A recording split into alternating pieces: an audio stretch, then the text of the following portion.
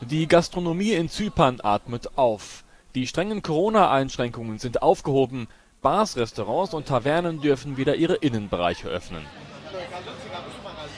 Die Lokale füllten sich schnell, wie hier in der Baristro Bar in einem Vorort der Hauptstadt Nikosia.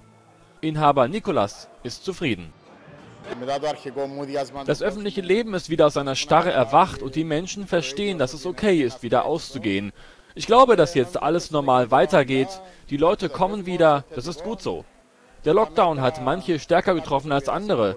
Wir haben eine neue Saison. Ich hoffe, dass im Oktober keine neuen Einschränkungen kommen.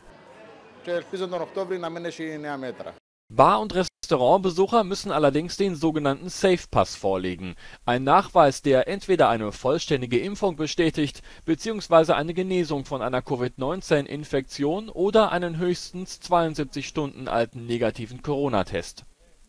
Noch gilt eine nächtliche Ausgangssperre von 0:30 Uhr bis 5 Uhr. Ab dem 10. Juni fällt auch diese Auflage weg. Dann hofft man, dass wieder mehr Urlauber ins Land kommen und sich der Tourismussektor langsam erholt